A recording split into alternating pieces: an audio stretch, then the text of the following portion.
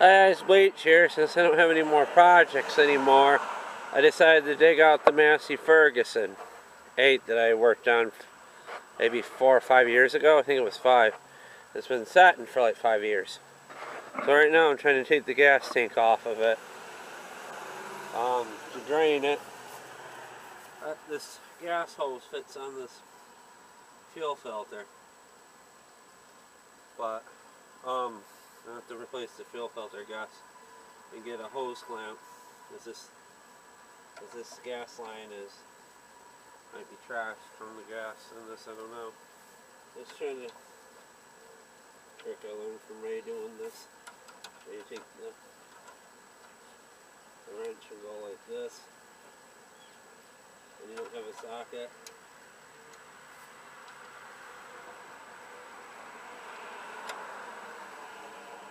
Trying to take this thing off here to see if I can get a battery in here. To see if this thing will crank over. I really, I couldn't put the fuel shut off there. There's this line to see that I put it there. No figure. This line should be replaced except for this part. Maybe I can go to a auto parts place and uh, get a line this size. This gas line's seen better days. Replace it all.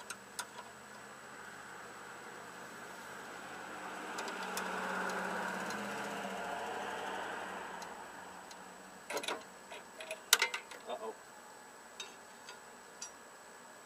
This it. I got the spacer that goes into the gas line. Thank goodness I'm actually able to reach it, I think.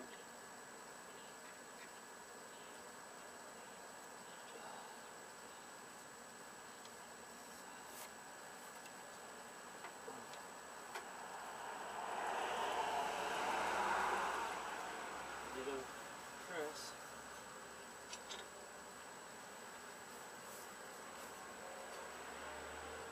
Let's see it now.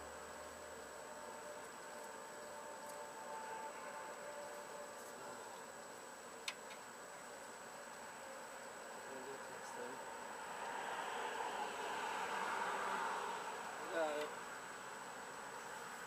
Probably isn't the original gas tank for this thing.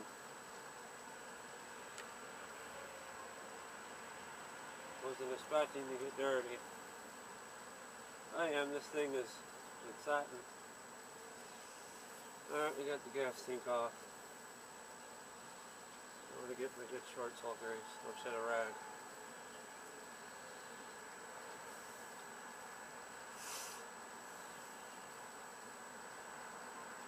Uh, Twice, uh, channel lock pliers in my pocket. I can Get this thing off here.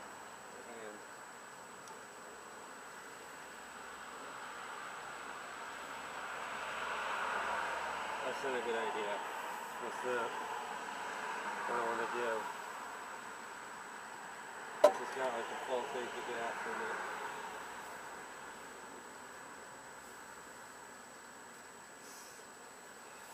Little woozy. Got a headache. clamps are really good. The goal this segment of the video is to see if the points work in this thing and see if it cranks over. Just keep this gas in so it's still for the replace it.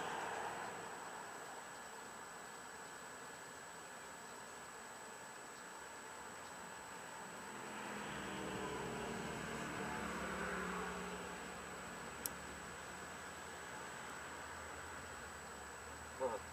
It's gonna be harder than I thought it was. And I hate bending down because it hurts my back. Ugh.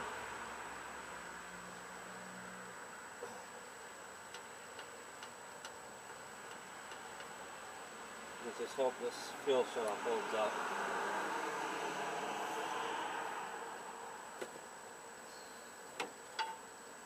What I'll do is I'll uh, take this and dump it. How's it going? By. What I'm going to do is uh, take this and get a funnel and dump it into a milk jug. And this just getting that out of the way. There's no way to jump the battery on this thing. I never had this cover off in the side. This isn't the stock muffler. It's a hot dog muffler stuck on there. And That's how it. Well, actually, it's not. I just loosened it. uh. Alright, let's get the battery in. This is that 300 uh, watt or 300 amp battery. I uh,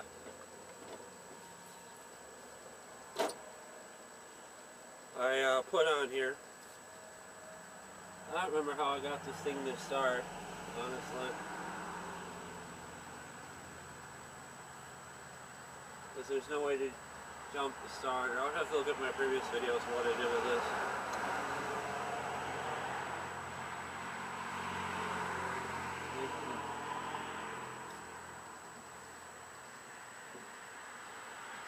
Can't really jump the solenoid. There. Hmm. I doubt this thing even cranks the battery. I'll try it. Don't have a key. Let's put the ground wire on and I'll grab another bolt for the for the um positive.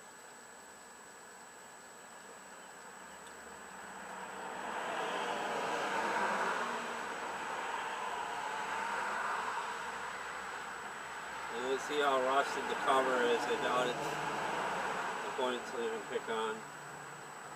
I'm hoping. I want to paint this cover and this shield. Make it look good.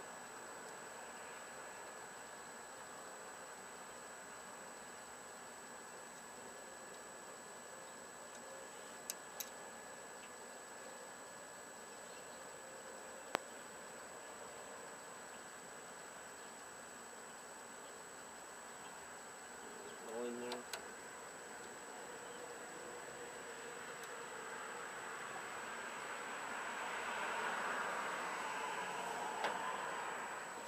It's always good to leave your tools in the rain or where you can't find them.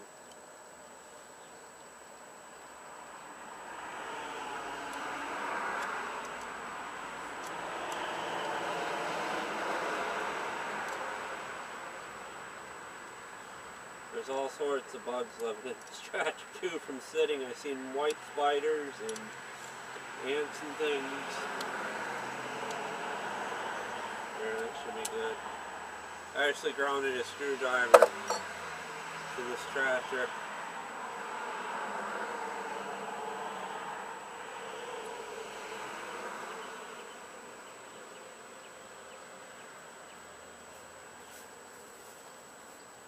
Front tire on the right is completely flat, won't hold air. This one does though. So this whole this Craftsman I put on there. Craftsman I had. Camera appears to be working for the time being.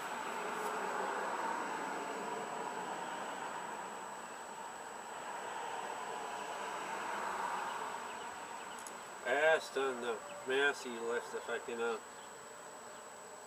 gonna do this. I want that tucked under there.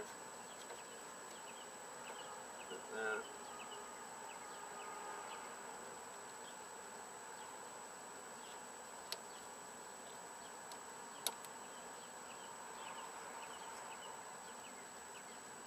It's always good to lose your 10 millimeters.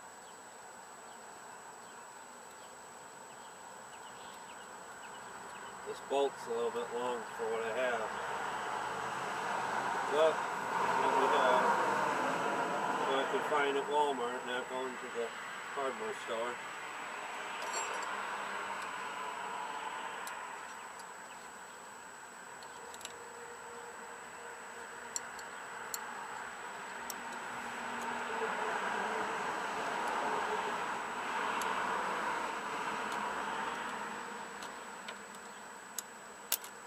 Oh, that's always good to do. Did you see that? Whoa, fucker.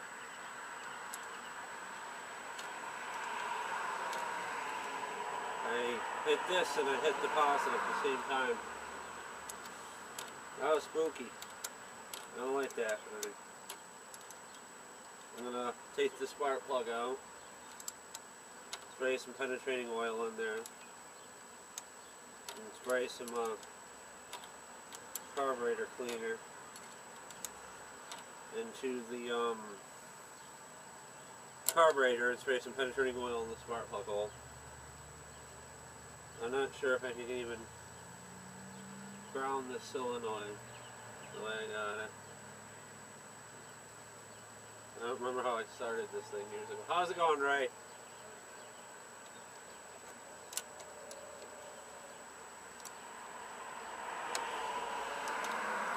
Whoa! That's what you get when you have a long bolt. That battery has a lot of juice.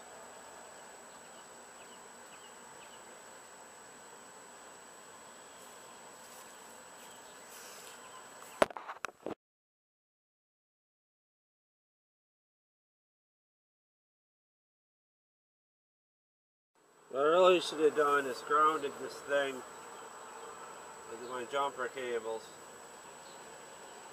and uh, hit the, positive with, with uh, my other jumper and the battery, so the battery.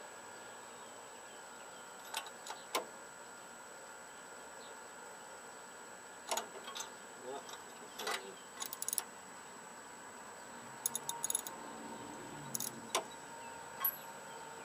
There it is. The uh, throttle. Huh, look at this plug. Kinda neat. Clean it off with, uh, clean it off with some carburetor cleaner and put it back. Oh.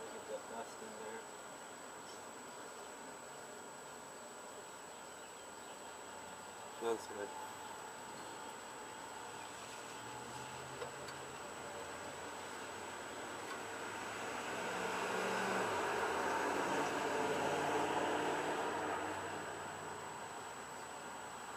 I don't know if I'm blocking my the view of what I'm doing or not.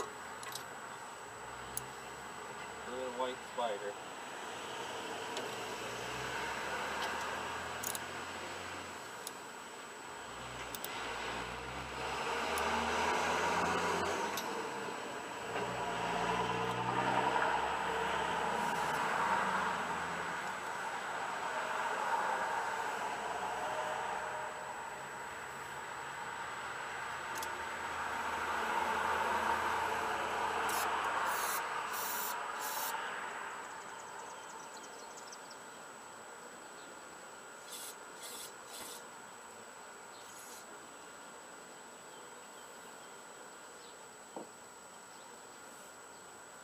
Not sure I'm going to use.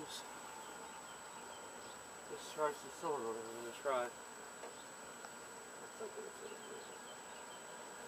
Ah, shit. I think I need a screwdriver. I was told if you push on the pedal, it puts it back in the neutral.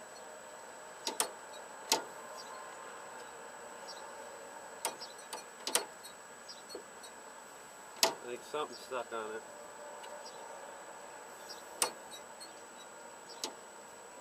The thing is, it, it, you never let it set, guys. You never let it set.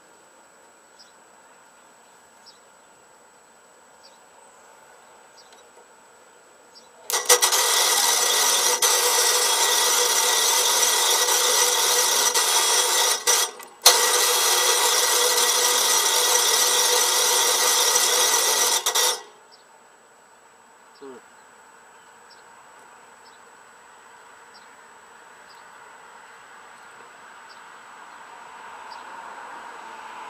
Might have to take. I don't know if something's damaged on it because it's not supposed to move. And I don't know what.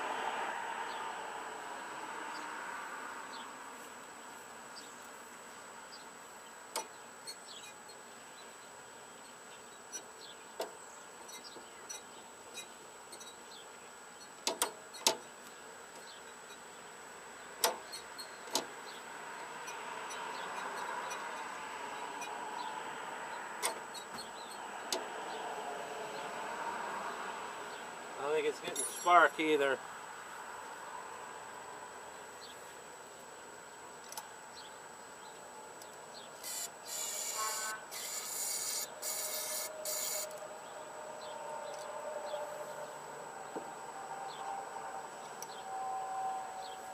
A little dangerous if it starts.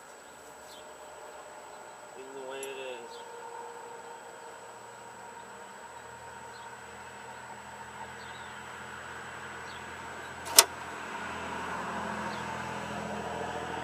Hmm.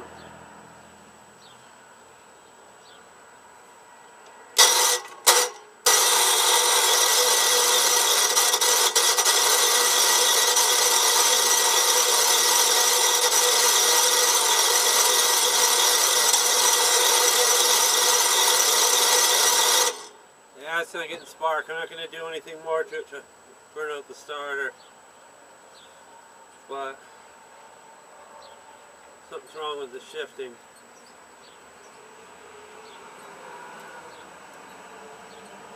Let it cool down, try it again.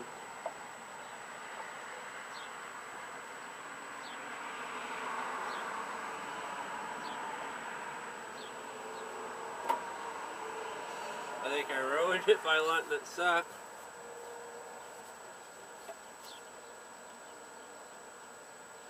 Thankfully the too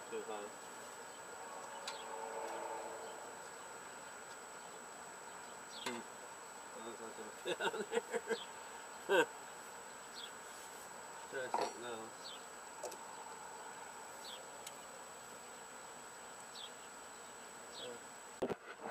I just took the cover off there. I'm not sure if I caught it.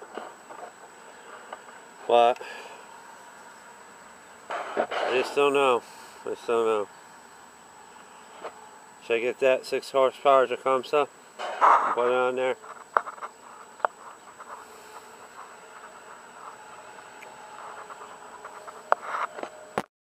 I think you missed me guys taking the cover off with the channel lock pliers. Um, this is a work in progress. I'm just winging it. I'm trying my best to fix this thing. But someone said the reason why it was jerking, I don't know if you caught it in the video why it was jerking back and forth. I checked in the Massey Ferguson group on Facebook. And uh, I think his name is Bill or something. Or Brian. He said, uh, check for a stuck uh, pulley. A belt on the pulley. Now I'm just taking this thing off here that clips off there, and then there's another clip over here. Yeah, the seat's seen better days. It's even a screw on there.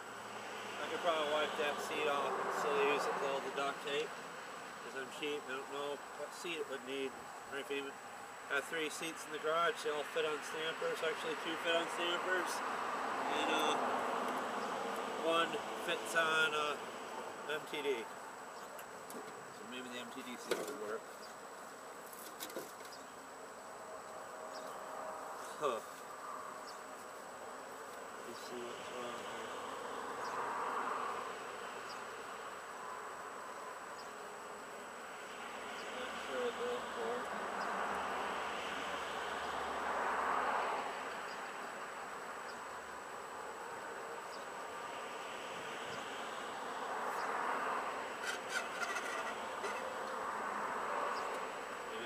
Something.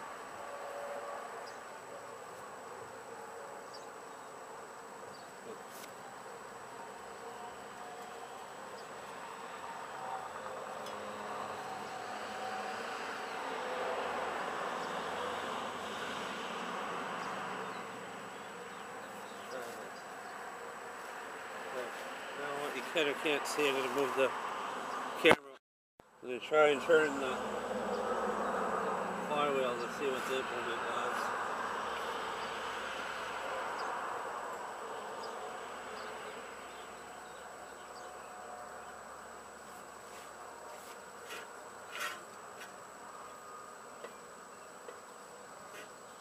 This pulley appears to be back on the engine a bit. Seems okay in the back. I don't know if that has to do with the thing. This comes up. That pushes into um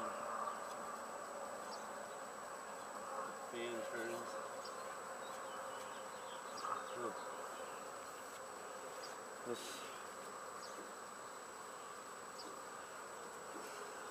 Yeah, There's something under there to lubricate. My key switch is frozen in the run position from when I last used it, guys. Not good. I don't have this shroud fastened on there. I'm just testing the key switch. I uh, lubricated it. black in the garage.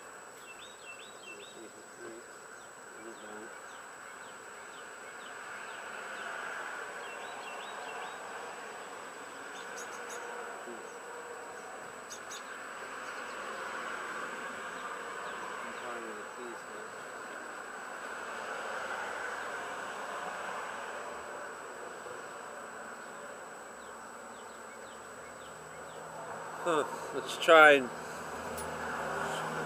and um hit it with the the uh, on the solenoid with the post and see if the tractor still jerks.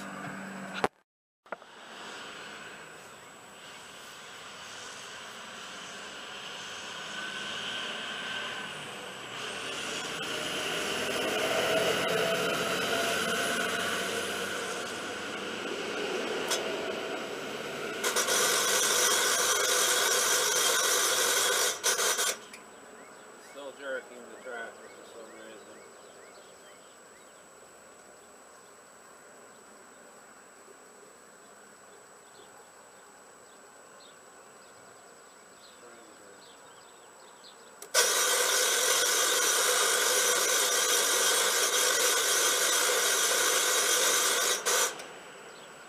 Still jerking.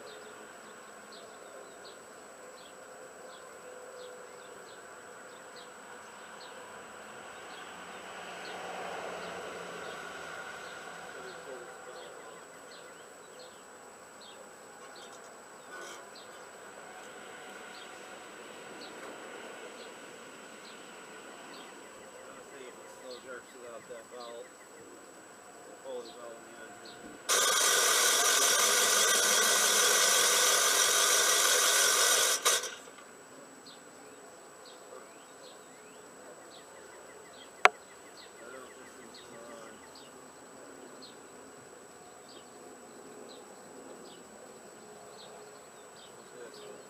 shift this and on. See if I can push the gear to. No, it's-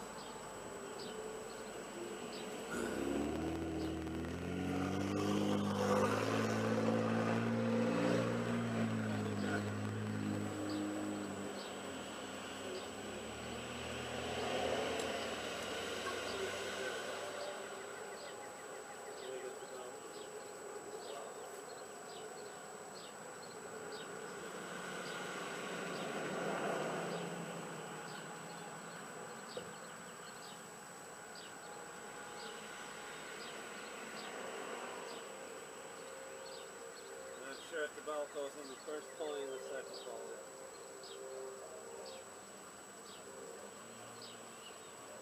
And I did this.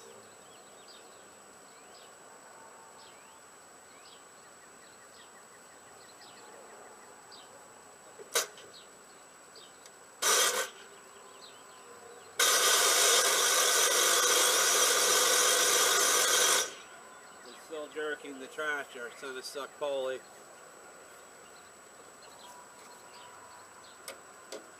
I wonder if it's because my tire is flat. I'm trying to get a better of this shot of this thing when it's doing. Guys, I got it on the transmission. I'm not sure if you could see anything in the transmission while it was jerk.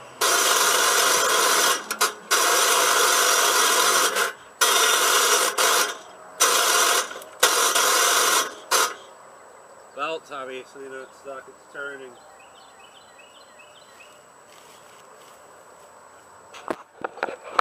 I'm not sure if I can fix this thing guys, it's got problems I never came across on it before in a tractor and it's old. But this isn't the original engine, it's got a, a solid state in, uh, ignition on there. It ran five years ago, I remember me driving it around in the yard and stuff, it was running and doing along. The key switch doesn't work. It's got a, a solenoid on there. Um, that's uh, was new five years ago, the solenoid.